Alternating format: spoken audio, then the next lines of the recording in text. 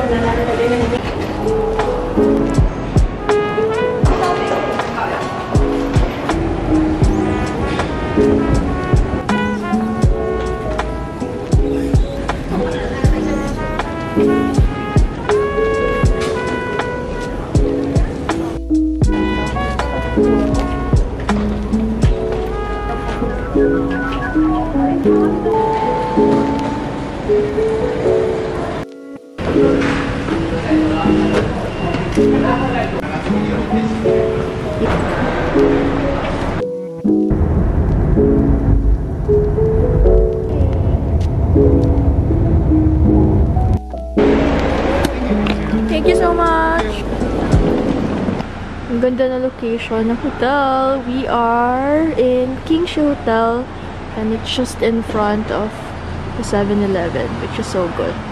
By the way, that's the sundo that we booked via Klook. Really good. I recommend. So let's check in.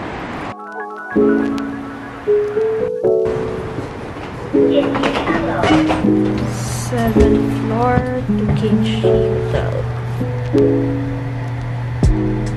Hi, good morning. Our first order of business, 7-Eleven.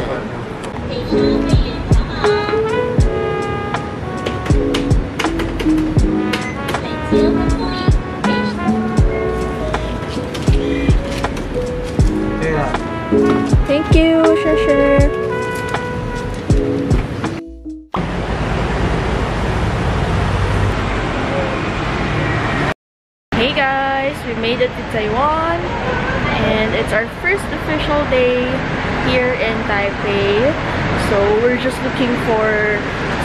Ximending Street because we'll be buying our iPhone chargers because we left ours at home. We're also gonna be buying our SIMs because wala kami nabili sa airport dahil madaling araw na kami dumating. We landed at 12.40 and then we got out of the airport at 2 a.m. Medyo maingay sa street na to, so kung hindi nyo naririnig, I'm so sorry. Pansin ko lang though, they open late kasi 10 a.m. na, pero parang pa-open pa lang yung mga shops nila dito.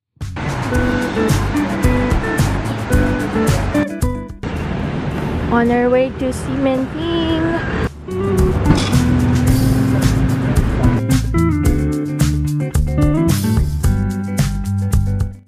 We are now in Cementing. So happy to be here after watching so many vlogs about it.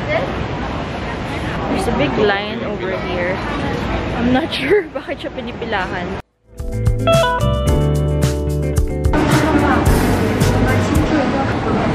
Found a famous Shing Utang milk tea, but it's so early in the morning yet, so we won't go there yet.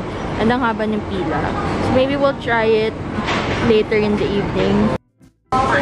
It's just day one, but we were already buying ref magnets. May nagustuhan kaming isang design. We're getting this. Then we get one free. Yeah. Uh, we bought two of these. So cute. Ano siya? Glow in the dark. Tapos, buy two, take one for 150 NTD.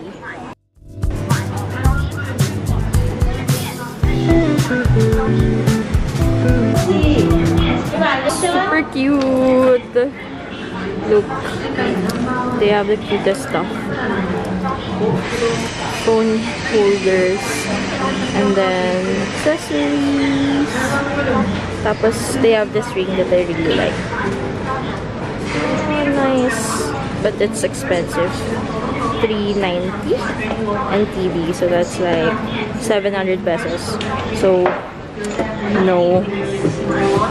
Really cute stuff. Got the goods! Uy! Bakit naman ganyan?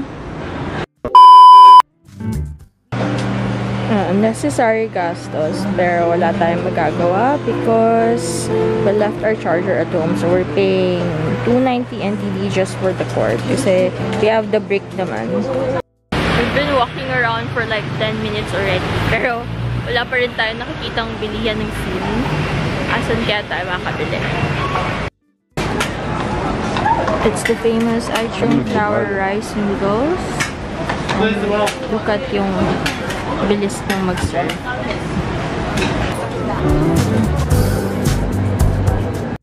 Of course, hindi natin pwedeng palagpasan yung hot star. We'll just buy one hot star fried chicken. We are in line to pick up our hot star. Number 10 tayo. Number 5 pa lang yung tinatawag. So, medyo matagal pa tayo. And ang init, we were expecting medyo malamig kasi winter na daw dito. Pero medyo mainit. Pero saktong init lang. Yung parang mga 10 a.m. kind of init. Unlike sa Pilipinas na piercing talaga. So, tolerable naman. Medyo nahirapan kaming hanapin yung hot star. But look for 50% and then right across that is hot star fried chicken. Now we're claiming our order. Thank you, Shasha. Oh my god. It's thick and it's hot. Bagong luto. Mainit pa, guys.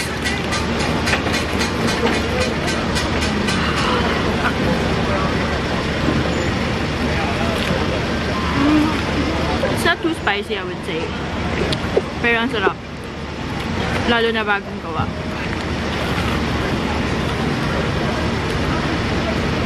Oh my god. It's so good. 10 out of 10. Ay nako, super hustle guys because after 2 hours, saka lang kami nakabili ng SIM card and doon kami nauwi sa unang-unang store na pinuntahan namin. So, should have already bought the SIM card kanina pa and apparently 11, 12 pa nagbubukas yung mga stores. Medyo hassle talaga. Meron naman sanang iba. So, medyo mahal dito around 790 NTD. So, around 1,500 pesos yata yun or 1,400. Medyo mahal pero unlimited na daw yun for 5 days. And we got the SIM. Now, we're ready to move on talaga sa itinerary for today. Let's go.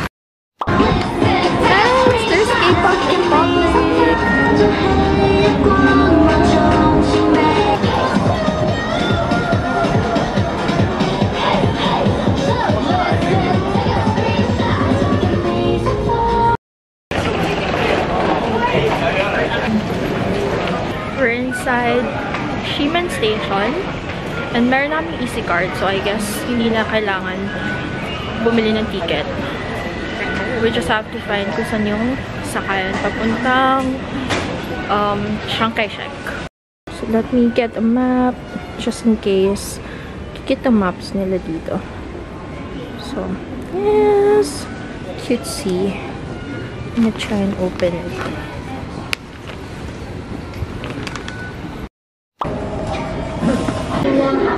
From Ximen, where we are now, we're going to Chiang Kai-shek. So that's like two stations away. So yung G10 Chiang Kai-shek Memorial Hall. Guys, yung train stations nila dito may pila. So unlike sa atin na get ready namang balya, dito pipila ka talaga. Ayan, so nakapila sila and then nakapila din kami. Um, we are waiting for the train to arrive.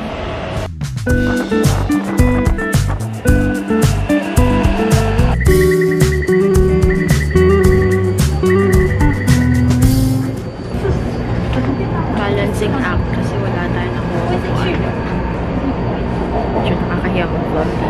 Tahimik.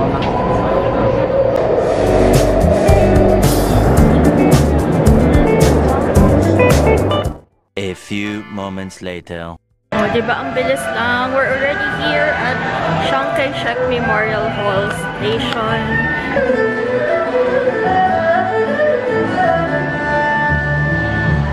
Pag exit niya ng exit 5, ito yung bubungad.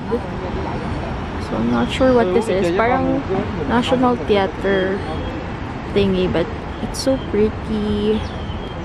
And then, meron pa dun, banda dun. Ang ganda ng araw today. Thank God. You guys, Chiang Kai-shek, the architecture of this memorial hall is just chef's kiss. It's amazing. I mean, if you're here, talagang mapapawaw ka. It's so simple, yet there's something to it. Bubuyog vibes. So we're just seated um, outside this building kasi masakit na yung paa ko. Actually, yung paa namin. Pero, ang sarap na simay ng hangin. Malamig siya. So, tama nga yung balita na malamig na dito. Maaraw, pero malamig yung hangin. So, ang saya kahit ang kapal ng suot ko. And naka-black pa. Nakaupo lang kami take some rest before we go to Sun Yat-sen. And then we bought drinks sa vendor. So, we got this CNC lemon. Mm, in fairness, masarap siya. Refreshing, I like. This is 35 NTD from the Vendo. Hey guys! So we just finished our visit to Chiang Kai-shek Station and it was actually so nice and chill. Ang saya lang doon maupo and you know, magmuni-muni ka kasi ang sarap na simay ng hangin especially around this time na nasa winter season si Taiwan. Really nice. So I recommend it. Now, we're um, heading naman to Taipei Main Station. Andito kami ulit sa train station to get to Taipei Main Station. Then, after that, uh, we'll ride to Sun Yat-sen. Guys, fun fact, every station meron sila nitong parang stamp. So, you can bring a paper or kahit anong papel, tapos pwede kayo mag-stamp. For me, yung kaninang hiningi kong map ng Taiwan or ng Taipei, nilalagyan ko. So, ito yung kanina sa Shimen Station, nilagyan ko ng stamp. Now, nasa-stamp naman tayo para dito sa Chiang Kai-shek.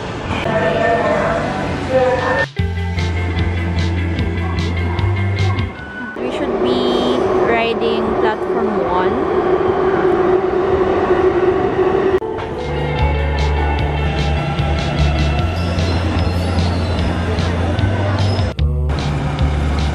We made it to Sun Yat-sen Memorial Hall. And para din siyang Chiang Kai-shek. Ang peaceful nung environment. It's like a park actually. And then from here, we have a good view of Taipei 101. Thank God, ang ganda ng weather today. Ayokong siyang mabati, pero ang ganda talaga ng weather. We'll be going sa Taipei 101. Hopefully, we get there to catch the sunset in the observatory. So, yeah, upo muna tayo dito to get rest.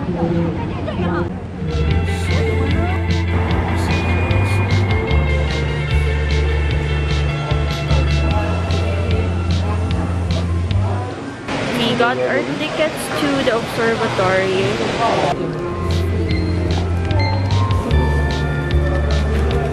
Thank you. We're going to the observatory deck of Taipei 101.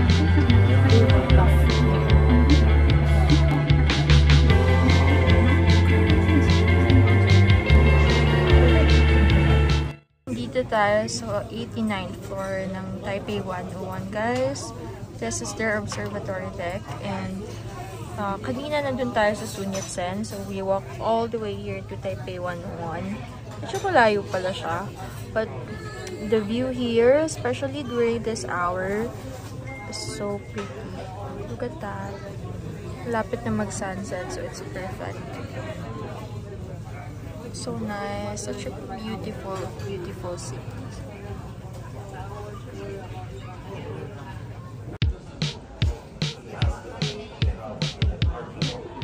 so nice to see the contrast of this mountainous area and then the residential and highly urbanized area of Taipei. Sun is setting.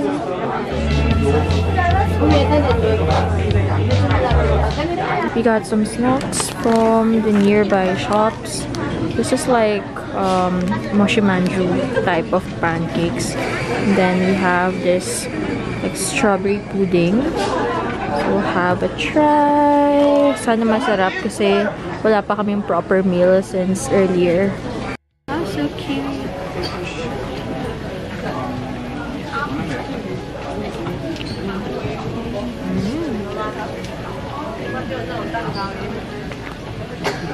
It's nice. Para siyang moshi manju. Wala siyang feeling though. Akala ko meron siyang feeling. Pero wala. Like, pancake lang talaga siya. Ah, soy pudding. Mix natin siya. Soy milk siya with peanut. Tapos parang may arnibal dito sa side. Mmm, parang siyang taho. I actually quite like it. Also got the cake.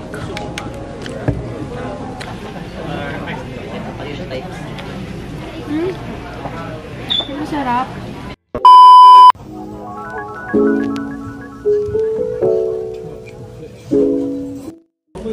We're at the mass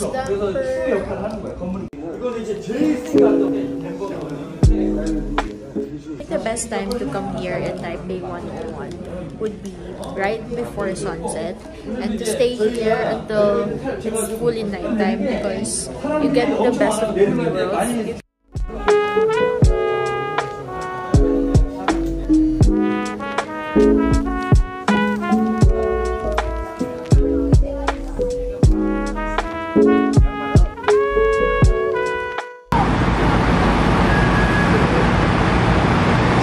Walking back to Siminding for their night market.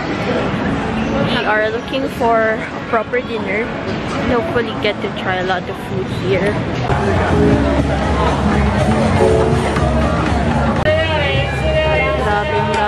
Customers.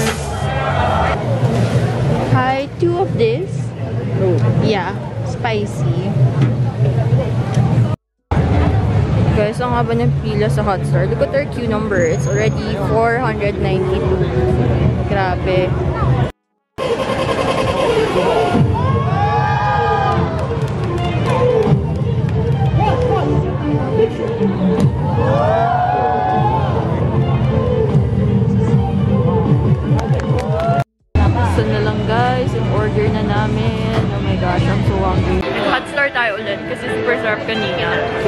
Hinahanap namin. I love it. We're walking towards Shing Futang to get a drink. So Shing Futang kasi, based on my research, pinaka-masarap. Or isa sa pinaka-masarap. So, try natin siya i-pair with Hotstar. Hopefully, masarap siya talaga. Nakapila na kami sa Shing Futang. We'll buy our milk tea. Sinadya talaga namin ihuli siya para kung sumakit man siya namin, diretso uwi na. Ito yung order namin guys. Boba with 1079. 1079. Thank you! Ginagawa daw nila yung pearls nila daily. So, it's fresh. Wow. Oh, wow. Ang daming boba. Nakita niyo ba yun? Para siyang boba na may konting milk.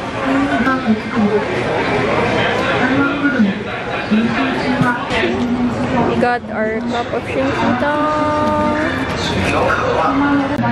We got the goods. We got the shrinkutang milk tea. Taiwanese chicken. 84. First comes to the Boba Milk from Supertown is spreading worldwide. At Supertown, we insist on making fresh boba every day. Ang lambot ng pearls. ¡Gracias!